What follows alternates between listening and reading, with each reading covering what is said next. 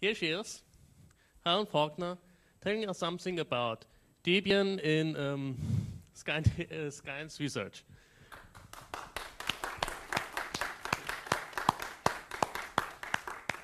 Hi, I think it's uh, quite easy to tell that this is the last session and that half the conference has already left, but that's life. And uh, I'm really enjoying my new email address for anyone who hasn't figured that out. And I might almost be tempted to go and hug Elmo again, except that I'm scared that he'd take it away from me. So, uh, so maybe I won't. You know, you can use the logo with the bottle now that you're one of us. I, you're right, I could do. Now, how do you work this? Ah, magic. Okay, so about me. I'm, I'm a physicist. Um, I do academic research. I'm at the beginning of my career, hopefully to be a, a shining one. Um, and mostly I do optics, mostly theory, um, mostly focusing on electron microscopy, which is uh, entertaining and useful sometimes. Um, and mo most of my work is theoretical, but I've done a bit of experiment uh, in the last few years when I was living in the UK. And my research is, you know, to put it as simply as you can, it's about seeing small things, looking inside really, really small things like crystals or uh, proteins and seeing what the chemical structure of those is. And I just love this cartoon.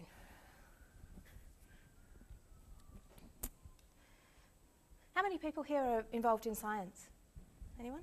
A few of you. Oh, that's great, because I was really, really hoping that lots of the people who showed up would be people who have opinions about this stuff.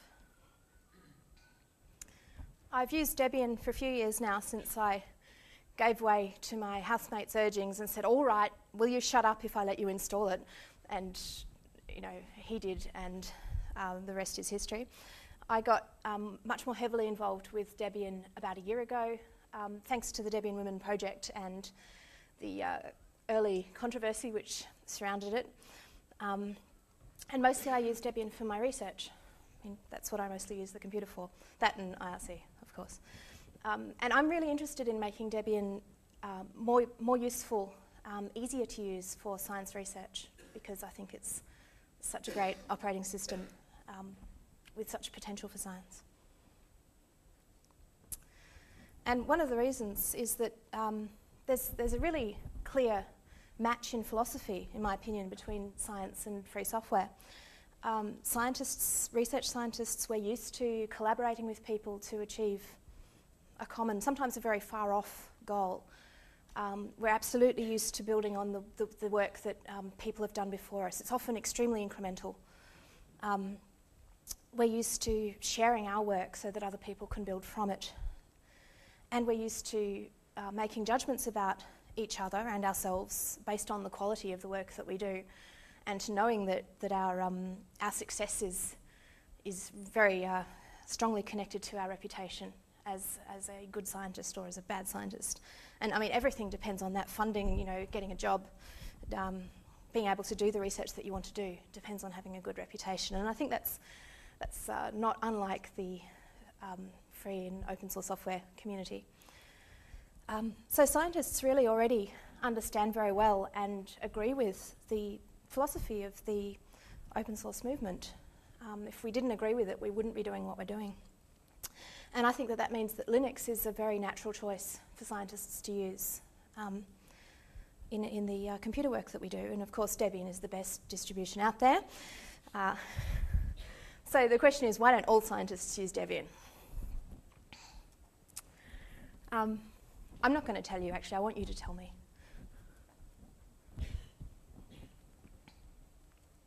But here's what I think. Um, what do scientists want out of an operating system? Well, I wrote down the stuff. That's not all showing, is it? Oh, that's bad. Can you scroll? Hmm. You can tell us what the last item is. Well, I can't see it here, and I don't remember what it was.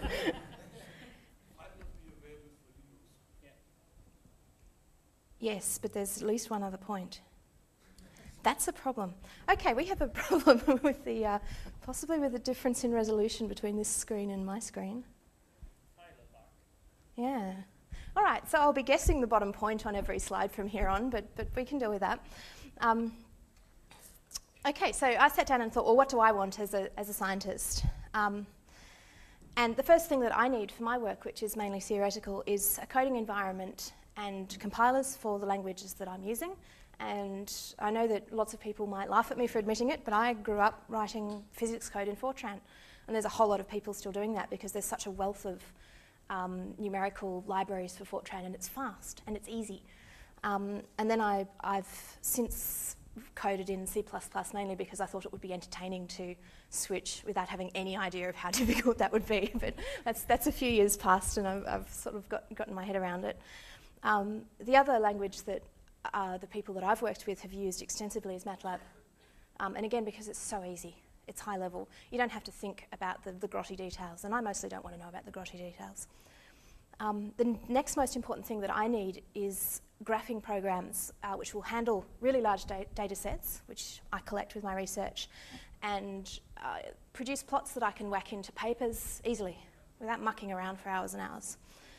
Um, I want access to high level languages or scripting languages or um, you know, things within the graphing programs that allow me to do uh, sophisticated or interesting um, analyses of my data so I can pull out the information that's in it, get the results that, um, that are in there. And of course, I need to use LaTeX or sometimes word processors. Um, in physics, anyway, there are some journals which will only accept uh, Microsoft Word documents as paper submissions. So mostly I use LaTeX when I can, but I can't always. Um, so we need this stuff for writing papers.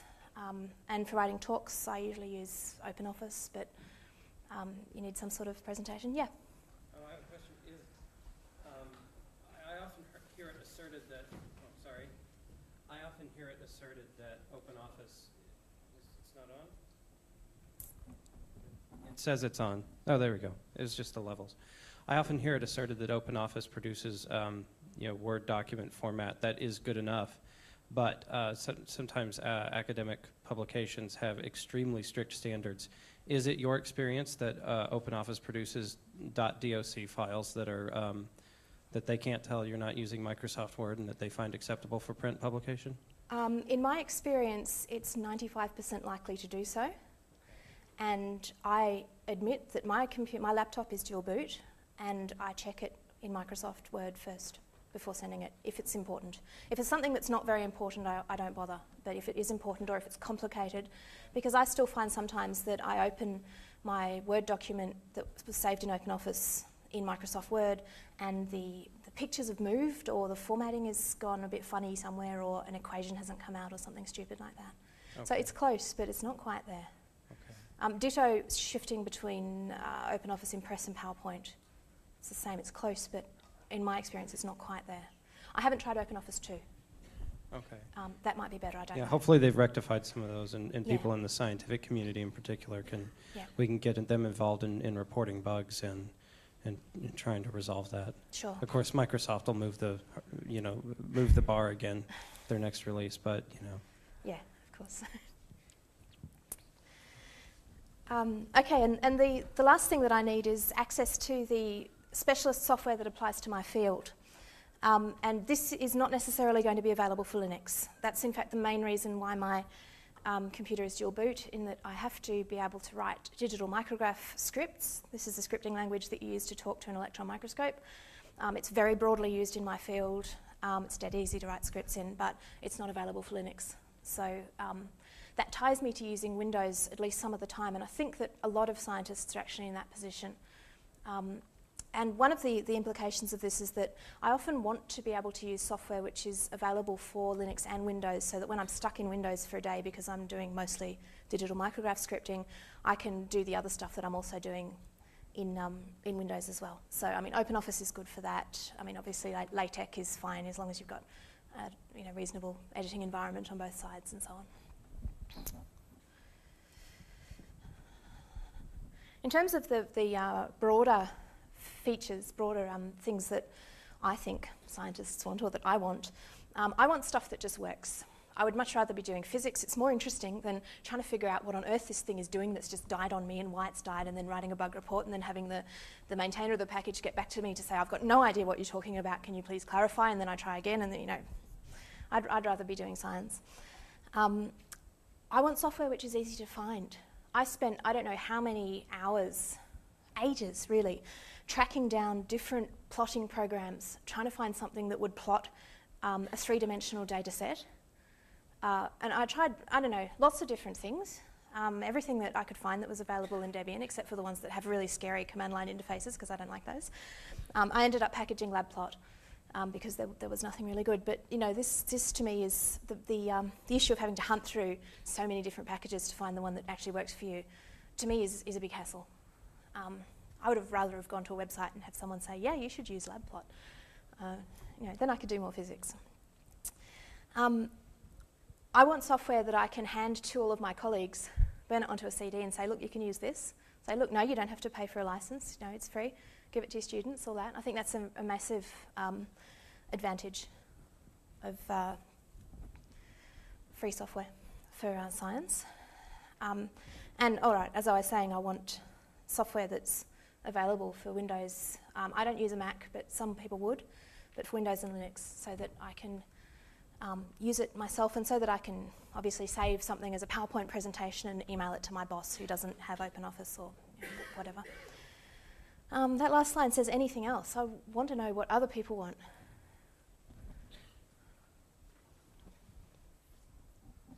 Uh, one thing. Hi. Okay. Uh, one thing that I've seen needed in like my meteorological environment at the, uh, of the moment is uh, small tutorials. Uh, people find the software and uh, maybe there's a huge manual, maybe there's a complicated command line interface, they have no idea if it does what it needs. Maybe if they find it useful, they'll read the whole manual, figure it out, do lots of stuff. But having like a two page, like do this, this, this, this, this, and see the results, just to have an idea of the whole philosophy is really important. It's usually done by peers. Like do this, do that. Oh, nice. Oh, yeah, okay. Oh, it does like this. Yes, yeah, great. Uh, but it's rarely found on, on a piece of document. Mm -hmm. Maybe um, useful stuff for that would also be things like screenshots on web pages to say this is what you can produce with this piece of software. I, know I find those useful when I can find them. I'm into electronics, and there's a lot of software for electronics uh, in, in Debian and in Linux in general. And I feel that the, the thing that's missing is that it should be all integrated. Mm -hmm. in, if you want to do something, you have to take uh, parts from all different places. Like you have to use like 10 different packages, and each package works differently, so you need to convert one format to the other, and, and it takes a lot of work because it's not integrated. I, I feel that in my, in my field, that's, that's the main lack. Mm -hmm. Do you think it would be possible to coordinate um, the packages either at the Debian level or the uh, communicate with the upstream um, developers of those packages to achieve greater integration? I think that the the problem is actually upstream. It, it's not at Debian level because they, they are so different that it's difficult to integrate it at Debian level. Mm-hmm. Um, yeah, we, we should talk to upstream and, and work on, on that direction. Sure. Is it mostly a problem with file formats? Uh, no, sort of. No, uh, th there's different things because uh, sometimes it's file format, sometimes it's uh, lack of data for a certain program. You need, like, for example, the definition of the components, uh, and one program has some components and the other has some other components, and that stuff. Yeah, fair enough. I guess wish, li um, wish list bugs might help. I also think, as far as I can tell, with the very the little specialised things, it's often someone writing the thing that he or she needs for their own research. Um, and if they don't want to use the, the stuff that you want to use it with, then they don't have motivation to spend lots of their research time um, writing the component that does that. But, uh, yeah, maybe we can talk to people more about it.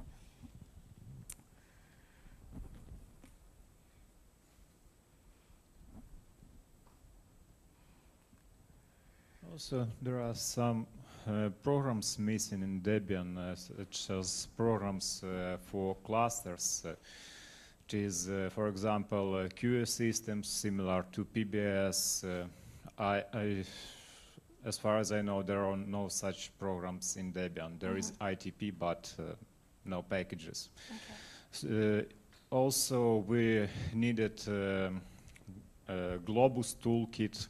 We tried to compile, compile it in Debian, but it uses uh, Java. It, and we just failed to compile it, and we needed to install Red Hat. And uh, there was also a problem that some complex uh, programs uh, only have uh, RPM packages, and it is not trivial thing to compile them for Debian. The one I'm aware of is a thing called ImageJ, which does image manipulations and um, calculations on the data. And it's I've thought about packaging it a couple of times, but it's Java, and I'm scared of it. Um, but that I would like to see in Debian. I'd just make a comment about the batch schedulers and then also grid middleware like Globus Toolkit and stuff like that. Is that uh, typically on each different clusters, people have different uh, have their own setups. So coming up with a package to fit all of these different sites would be quite difficult. And also, well, if, if you, you've probably installed PBS, it's sometimes just easier to install it and then forget about it. Um, then regarding the grid middleware uh, or grid software, people work work on these things, but then when uh, when they apply for funding to work on these things, they don't uh, consider uh, things like packaging. So you, have people who are writing software, and then they package software, but they don't they package in it, it in a format which is, or they make a package that works, but not a package that is, uh, let's say, nice.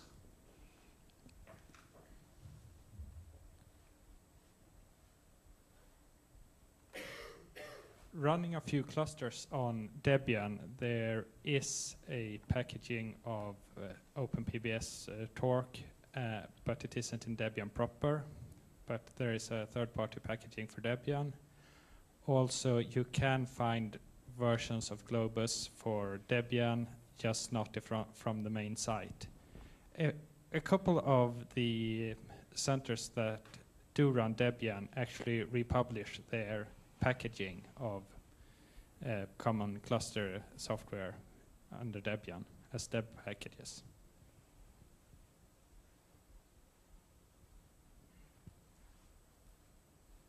Um, I think one thing that would probably be really very, very nice indeed when it comes to scientific software, not just in Debian, but outside Debian, is if scientific, if scientific software were held to the same standards of quality as any other piece of software. So frankly, I've spent far too much of my life, firstly, trying to find out how this stuff is supposed to work at all. Secondly, trying to work out how they ever thought it could have worked, because it plainly can't possibly. And thirdly, the depressing thing seems to be that, on the whole, scientists can't write software. Yes. and possibly shouldn't be allowed to write software a lot of the time. There's a lot of scientists with no formal training in, in software writing. And unfortunately, we end up with a huge pile of software, and people find it easier to rewrite rather than to try to get somebody else's software working. And possibly just forming a good pool of easily available scientific software would do something to alleviate that. If mm. people could make, it, if people had some expectation that they could install a piece of scientific software and then modify it for their own needs, or just use it for their own needs, then they may be less inclined to spend months writing grant proposals in order to spend years rewriting it. Yep. Yep, that's, that's a very sensible idea. Okay. So I, I, sat down to write down what I think are the, um, the pros, the benefits for uh, using Debian for science research. And I mean, the first obvious one is that there are a lot of packages. If you want something, chances are there's already one of those in Debian. Um, and this, this is good. And Debian is, uh, you know, gets flack because it's supposed to be too difficult, but actually I think that most scientists or scientifically minded people can deal with the level of complexity of the, um, the Debian installer.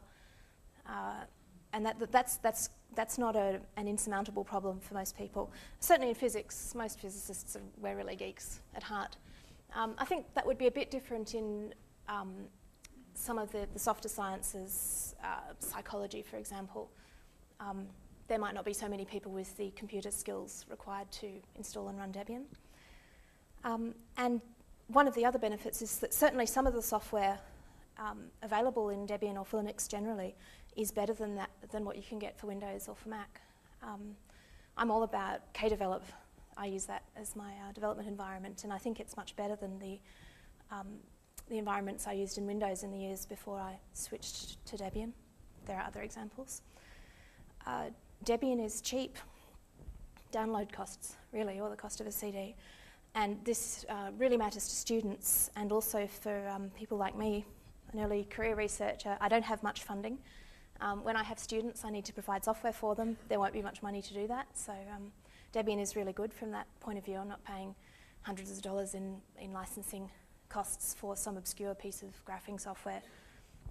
Um, and also Debian is sticking around. It's not going to be gone in five years. Uh, so you know that you can start someone off on a PhD. They're going to be three or four years, maybe longer. Um, the software will still be around. Hopefully, it will still be maintained. uh, hopefully, um, you know that uh, Microsoft is not going to stop supporting it. Um, so I think that there is a time investment involved in learning to use Debian if you haven't used it before, especially if you haven't used Linux before. But I think that that's going to pay off in the long run. Um, does anyone else have other, that was my list, does anyone else have other ideas of what the advantages are of using Debian for research?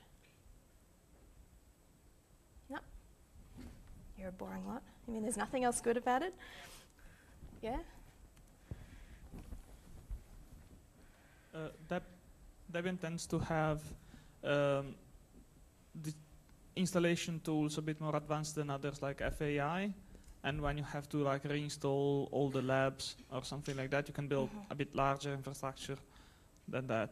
And well, I work in a Fedora environment, and well, now they've been spending like three months to test the new Fedora Core 4 if it's going to be any decent or not. Okay. And then they will have to like install it machine by machine, spend like a month on it, and they're going to be quite hit by it. Uh, so yeah. Okay. That, yeah, that's right. That is an advantage.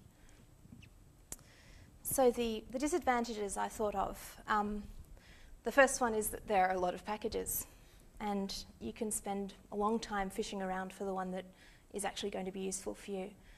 Um, and it can be sometimes very difficult to find, to get any sort of measure of the quality of any particular package in Debian. I think we need to give them stars or something. This is a five star piece of software and that's only a one star piece of software. So, you know, um, and also, it's true that some of the software in Debian, as far as I know, is actually not as good as the, um, the non free alternatives. And the one that really springs to mind that I'm aware of is MATLAB. Um, as far as I know, Octave, yeah, are you going to disagree? I'm not expert, um, but uh, my impression is that, that Octave doesn't really compare. Go on, go on. Uh, could you please explain why you say that Octave doesn't really compare? I, I, I, have to admit that I haven't used Octave, but I've asked people about it. Um, and at the last time I looked at the, the MATLAB development environment, which was MATLAB 6 or so, I was staggered by how much it had improved since I used it as a student. It's really, really easy. It's something that you can let a student with no programming experience loose on and they'll be able to work it out. Well, um, um, Octave is pretty stable, pretty freezed, but you have the Octave Forge part the, the one that's uh, developed in, in SourceForge. Mm-hmm. And they really work a lot to keep up with MATLAB new functions and everything. Okay. And at least as far as I've needed to use it, and I've used it quite a lot for different subjects at university, uh, it has never failed to do everything, everything I needed to do for, for my subject. Okay. Maybe in some specific field, it might not uh, fulfill the needs, but I really feel it's it's good enough. Okay, that's good to know. Um, I disagree. I use so everybody I work with in machine learning uses MATLAB, and I thought, well, fair enough, I'm going to switch to Octave. Um, there's very little support for sparse data matrices, And if you're working on huge, huge data sets with like several million features, you need to use the sparse matrix toolkit, which is there in which is there in MATLAB but isn't there in Octave yet. Uh, people are supposed to be working on it, but in the year and a half that I've been looking at this, nothing has been done. There are various other functions that exist in MATLAB that I try to use that exist in MATLAB but don't exist in Octave. So, for instance, when somebody gives me a large MATLAB program that they've written, I can't run it in Octave. I can't run it in Octave without going back, editing it. Hopefully, stuff will actually be there in Octave, maybe having to rewrite functions that are built in in MATLAB. Um, Octave for many years was much slower than MATLAB. Uh, recently, it's been not so bad. You can do some really cunning stuff with Atlas and stuff like that to make it run faster, and then it does run very fast. But I've never succeeded in getting that to work. Like I've put several hours into trying to compile the relevant stuff, and no. yeah, I've used both the standard Octave stuff and Octave Forge. Yeah, and I'm just I find it incredibly frustrating because everybody I work with uses MATLAB and it just, the compatibility is not there and the speed is not there, the sparse matrix support isn't there, there are many other functions that just aren't there, and maybe it's okay for some fields, but certainly for machine learning, it's not. And that's a really big problem. Machine learning. So probabilistic modeling, um, ba Bayesian probability, but for practical tasks, basically. Yeah. So we need a lot of funny probability distributions. We need a lot of sparse matrices, that kind of stuff. Yeah. Did you want to say? Well, yeah. I mean, the the basic problem is just this: that there's the there are these big standard libraries of functions for machine learning, and the, most people just don't care or have never tested whether they work with Octave. So it's maybe not that difficult to fix each individual bit of program to work, but you'll then end up spending your whole um, research time fixing other people's code, and they probably won't even want to take the changes back. So. Sure, sure. MATLAB is available for Linux, isn't it? Yeah. Yeah, so it's just a question of, of forking out for the license. Yeah, yeah I, I want to agree with the last opinion. I've been using MATLAB a lot in, in my investigation and so, and it doesn't reach lev the level we need. It, it lacks uh, Simulink. The, um, the libraries lack a lot, of, a lot of functions and work very differently, and it, it doesn't reach the level all the people I, I know that uses Linux at, at the university for, for this are using Mat, um, Linux, are, are, using MATLAB for Linux, not Octave. Mm -hmm, mm -hmm. So maybe we really need to warn people that if, if their research is very dependent on MATLAB, they're going to have a problem with Octave before they waste weeks trying. Great if there was a document around actually detailing the differences between MATLAB and Octave and saying which things aren't supported in Octave. Sure. But the problem is the people who actually have that knowledge are too busy publishing papers to actually write such a document. Yep. So I, I think there is definitely a need for that, but I don't know anybody who has time to do it. Yep. Okay. So um, going on, for me, uh, I have problems in my research because I need to use proprietary software um, I spoke earlier about digital micrograph, which is only available for Windows and for Mac. Um, that's the small bane of my life. That means I need a dual booting laptop. It's not the, not the end of the world. Uh, cross compiling my code so that my colleagues can run it on their Windows machines has been much more entertaining. Um, and I think I've gotten it beat now, but, but it was difficult. And I think that we could probably do better at again, maybe producing, maybe I should write a how to, um, producing documentation so that people who need to do this for their research, and I think it can't be that uncommon, um, can get some information about whether it's likely to be practical, whether it's likely to be um, you know, easy for them to do, or if it's going to take weeks, or whatever. Does anyone else here cross-compile? No? Am I the only person insane enough to, to agree to do that? All right, oh, well, okay, so scrap that. Um, another problem that, that I think is possibly more significant is that you go to your, um, the IT person in your department and say, oh, I'm running Debian, and they say, what? Um, actually, I was very impressed when I started at Monash recently that the IT guy was able to point me to a web page uh, which claimed to give instructions for setting up the email stuff in the, the email system for Linux. It didn't work, but at least, at least um, there was something there. But actually, in practice, not all scientists want to uh, support their own systems. especially not their system and the system of the five students under them, which is likely to get broken because students mess around with computers. Well, yeah, you may not even be allowed to, even if, um, even if you'd like to. So this is a problem. I was just going to say, I mean, certainly in the department where I work, this is a kind of interesting one because, I mean, there Windows is unsupported as well, Mhm. but in the standard system is some kind of weird forked stuff from Red Hat. Um, but that means, again, in that, in that situation, people are actually less likely to want to go for a Debian system just because they've already got this mostly working system. And even though people, whisper, I mean, well, I don't know whether it's the, the problems with Red Hat or the problems with the stuff they've done to it, but people waste a huge amount of time um, with things that I know would work fine on a, a basic Debian system. Mm. But of course, yeah, if you're going to throw away the fact that it's supported, it's a lot. It's a big decision to actually Yeah. bother doing that and running Yeah. it yourself. Yeah.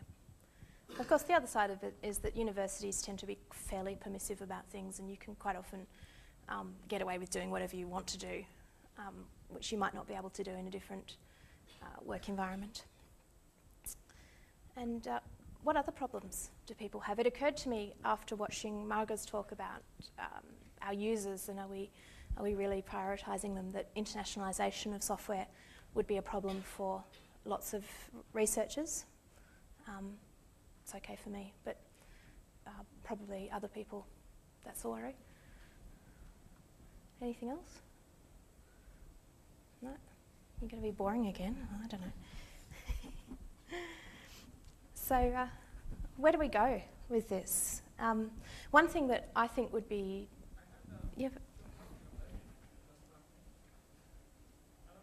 Kind of Debian compared to Red Hat is that it's harder to make packages.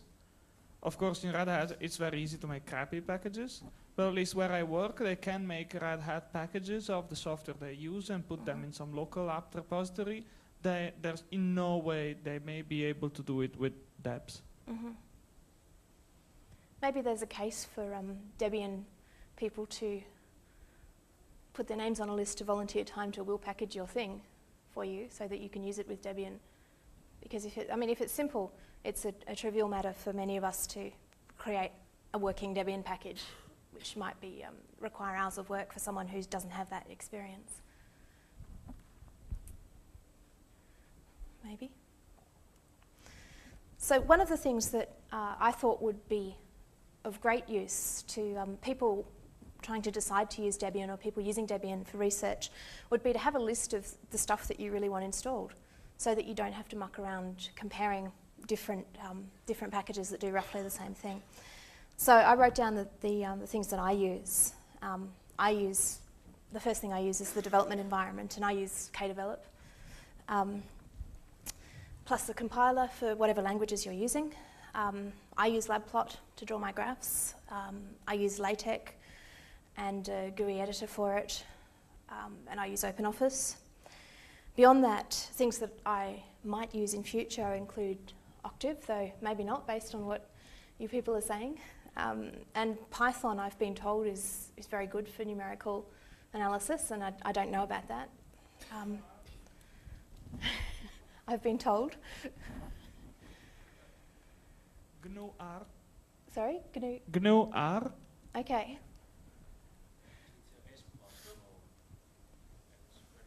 Mhm. Hello. I've been using the uh, GNU R for a year or so, and, uh, and I, I like it better than, than MATLAB in cer- certain aspects, like graphing and uh, the huge amount of free packages, which, for example, somebody was doing Bayesian simulations. There, there are MCMC packages, uh, many of them in GNU R, and uh, supports for the for the object-oriented things which are not really not that much there in MATLAB. Mhm. Okay. Sure. You were saying that um, GNU is it R? R. Okay. I'm not familiar with it, but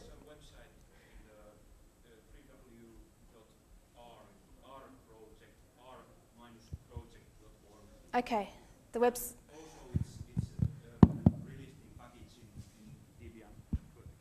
I, I don't. So the It website hurt me- is- hurt on me once. So uh, and it's, it's uh, coming with the Debian. Okay, and great. It's pretty up to date in Debian Okay. very fast in Debian for some magical reason.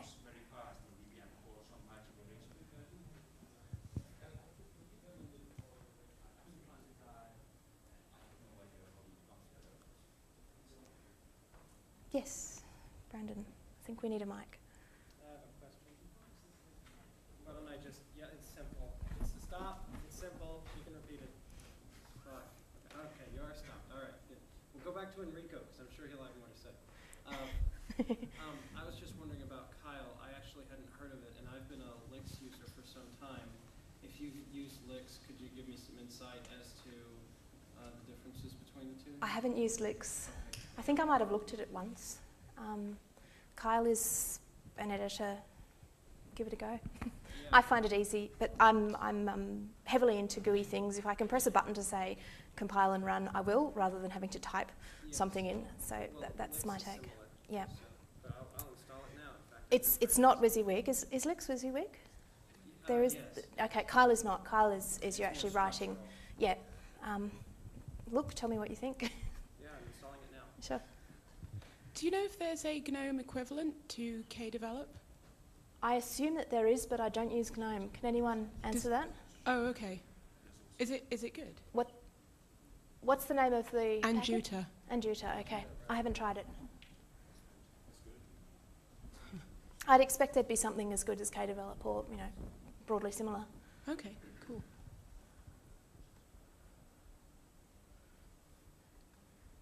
Anything else? Uh, can we have a small party for the final introduction of uh, Fortran 95 in Debian? yes, yes, there's that. I think, um, yeah, okay, that sort of comes up on my next page, uh, which is this question of how does Debian software compare with the alternatives. And I think we've already discussed Octave um, and MATLAB. And again, I haven't tried the uh, Debian Fortran 95, but I'm interested actually in switching back to using Fortran for my physics code um, because it has some real advantages that I'm sure lots of you would be aware of. So, um, can anyone comment on the uh, the new compiler? Is it does it work? I mean, is it easy, or am I going to spend hours or weeks getting it to work? Has anyone tried it? Yeah. Uh, it's pretty. It's still pretty. Uh, it's still pretty raw. I don't use Fortran myself, but judging from the mailing list, it's it's still pretty raw. There's, it's it's very actively being developed upstream. I think once GCC hits 4.1, it'll be a lot better. Okay, so I should uh, not leap into it right away. Well, don't like you know make your job depend on it. Okay, I think lack of Fortran is a is a real problem. Um, has been possibly, obviously, still is a real problem for uh, a lot of researchers. Certainly in physics, loads of people use Fortran. Um, that one is a problem. And again, for me, again, we talked about it briefly. Um, the Office suites or word processors that sometimes you're going to have to use to submit papers. Has anyone else got experience of major problems with uh, Debian packages for producing um, Word documents or PowerPoint presentations being the main ones? Um, OpenOffice Calc tends to kind of blow up when you try to connect it to databases to pull in data sets. hmm I know I've had trouble with Excel spreadsheets, opening them in open office and they died because um, Excel isn't case sensitive, and open office was, by, is by default. Um, that's about the only trouble I've had with Calc.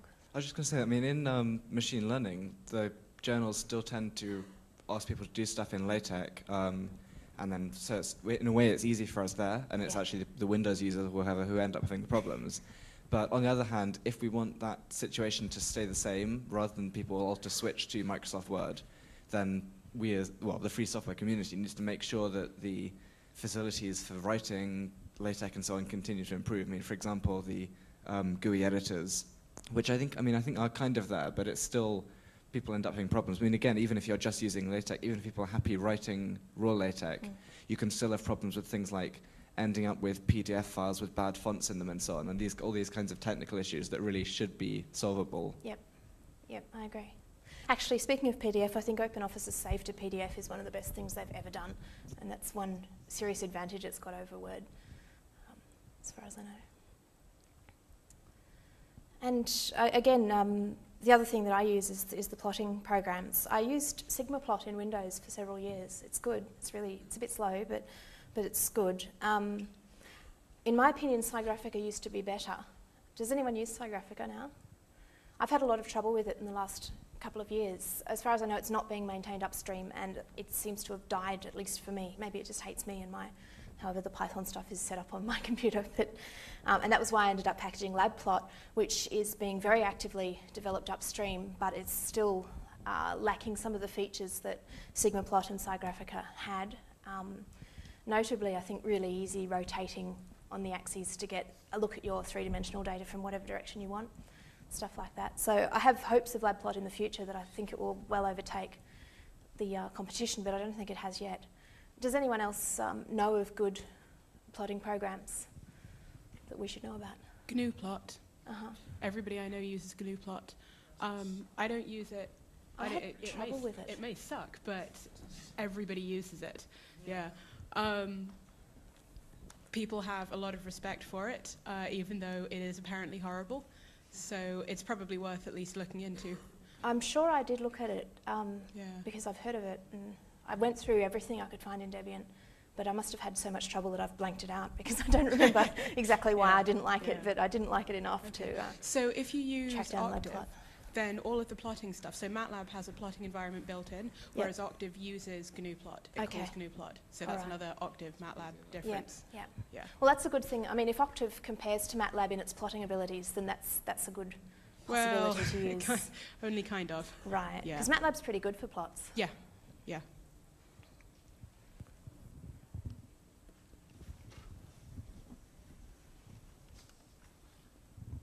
Uh, hello. Well, I used Poor++. I don't know if it's uh, anything could be useful, but Mhm. it's quite powerful. Okay. It's available in, in Debian, so. Okay, I don't know it actually.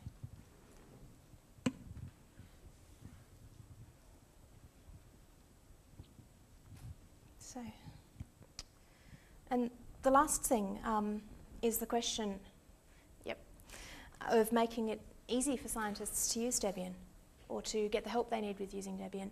I've wondered whether it would be worth setting up a mailing list, Debian Science, something, and yeah. I was going to suggest. Comes the microphone. I was just going to suggest an, an idea which has just been pinging in my mind over and over again since your talk began is this sounds like a great opportunity for a custom Debian distribution like Debian Med or Debian EDU. Mm. You know, have Debian Sci or, you know, whatever a real scientist would want to call it. There's something more clever. As, a, Yeah. as, as an unlettered person, I, uh, I wouldn't presume to pick a name for the project. But uh, um, that's something I, I might personally be interested in getting involved in as kind of the uh, Okay, Debian, d- uh, Debian experienced half. You know, as a person who can probably package something quickly, you, you know, you, you maintain the X window system for a few years, you learn the ins and outs of packaging, at least up to a certain point.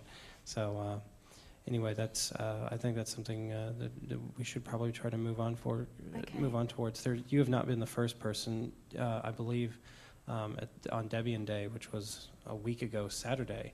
Um, there was a talk given um, relating uh, the uh, uh, actually it was Gunnar Wolf's talk relating the scientific tradition to the principles of free software. It seems a very logical place to have a kind of marriage. Yep. So Absolutely.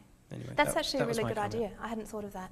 Um, I think that's a really interesting idea. We should talk about it. Um, well, that would go a little bit further than uh, making a wiki for people to write down their experiences. Um, but yeah, I, I think it would be great if, if people could search on, you know, Linux science software or something like that and come up with a page listing, well, this is good and this is crap and this one's changing and, you know, whatever. Well, of, of course, because Debian is the best distro. Anyway, don't, you know what I mean. Um, and the other thing that, that we can do as, scientists is let our colleagues and our students um, know about Debian and say, hey, I've got this great piece of software that I'm using that I can use because it's Debian, and I can just say apt-get install this, and it's there, and all its dependencies are there, and you Windows people don't have a hope, and you Red Hat people are going to be struggling for hours. Um, let people know why it's good. Yeah. So. Um, I know there are some kind of Knoppix-like live CDs for different kind of scientists. and maybe you can have a look at uh, the software sel- selection they used to, to give a um, free um, environment for this kind of scientists. Mhm. Yes, that's a good idea. It would be great to be able to hand um, new students, here's your CD, you can just install this on your computer or whatever.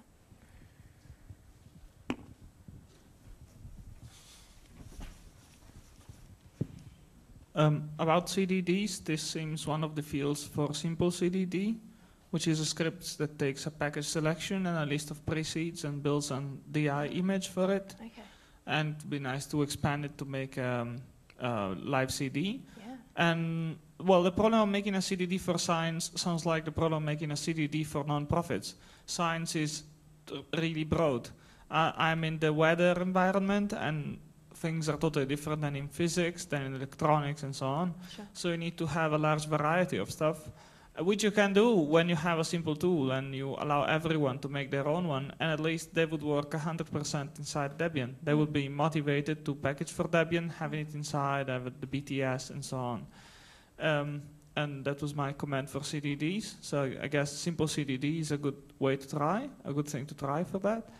Uh, get back to me about it. Okay. And um, about uh, other things that could help, uh, has now really shitty support for science tags because I haven't been into the science world for long and I'm no in no way expert. And I could really use some help in finding out categories from Mhm. people who actually know science software inside Debian. If I try to have a look, I get lost between quantum physics things and things that I can't understand if it's math or physics because they refer some mathematical thing that I totally don't know. And but that could be a nice effort because I, I'm pretty sure we could come out with like a lot of categories because we have a lot of software which will show that Debian actually contains a lot of useful stuff we Yeah. are not used to think of. Yep, that's a great idea. I think that we're just about out of time. I think, um, well, we've done that bit really. So, if there are no more comments, I think. Last two. Uh, I have a small request for help. If anyone has worked with Starlink software, among other things, they contain possibly the best uh, library for binding Fortran and C together, which can do the bindings for any possible architecture. And uh, it's GPL software, and I can't get it into Debian because they are the packaging equivalent. They are British, and they, they're the packaging equivalent of driving on the left. There's no way to take their upstream tarball and turn it into something useful. And it's like, that's one major packaging problem I'd like to talk with others about. Okay. Yeah, I was just thinking about an idea that, that was suggested before, and, it, and it's um, opening some kind of project in which um, scientists or developer upstream developers who do, who do not have a clue on how to package for Debian would put their um, their programs the, the, um, asking for help. I mean, I do have this program, I want it packaged, and and everybody could, could have a look at it and say, well, I'm interested in this one. It would be nice to open such a project inside Debian. Mm. Yes, I agree. That that'd be great. So I think that's the end. Thank you for uh, telling me what you think. Now I know more than I did.